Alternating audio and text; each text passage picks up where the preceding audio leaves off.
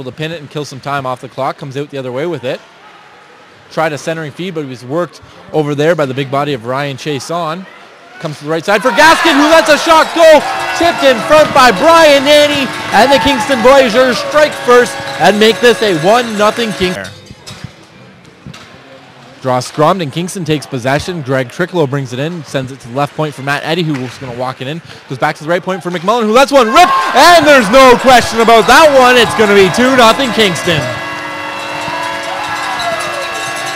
Cole Murduff for the Stars brings it up, goes left side for Clement. Clement stood up at the line there by Patrick Harrison, and that's the aspect of his. And carrying it away will be William Sullivan. Sullivan takes a big hit there, though, from Patrick Harrison. Body to protect the puck. Chason comes in. So does William Sullivan, and Wilhelm still has it. Sends it down low for Trickolo. Creeping in, it's Matt Eddy. Matt Eddy with a one-time feed from Trickolo. The second one is good. It gets behind Tanner Davis, and it's a three-goal lead for the Kingston Voyageurs. Score of 2-0 there. This plays in the left corner of V's territory. Cleared up the boards, but kept in by Cole Murduff. Sends a wrist shot in on Justin Gilbert. It was bouncing in front. Gilbert quickly down and covers up. The puck is loose. Peterborough knocks it in. They celebrate like they've got a goal. Um, in the corner is hit there by Hubers.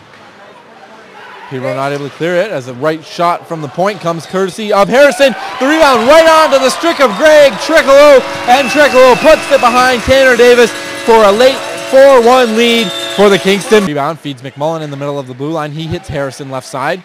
Harrison walks along the blue line, dishes back to McMullen, who goes to McParland right top of the circle. One-time feed for McMullen, finds the back of the net, and that will be his second for the second straight game. That puts Kingston up 5-1 off by Gallagher, and then they dump it in, so Gilbert will come out to play it.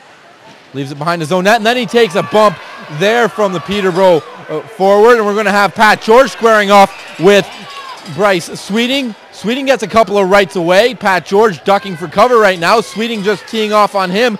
George holding him at bay. George throws a right of his own, and here comes Pat George. His helmet's off. Sweeting keeps throwing. George connects with a hard right, and another right from Pat George. Bryce Sweeting looks to be hurt off that one. They tie up. They go to the boards. The linesmen break it up. And that's a good tilt on a Thursday night. Pat George standing up for his goalie. Off it, Nannies gets the rebound, comes in, lets a shot rip high, glove side. The rebound's there for the taking. Tonj has it, goes back to the right point for Harrison. Harrison looking towards the goal, sends one in. That one's in the back of the net. Harrison might get credit for it. I'm not sure who tipped it.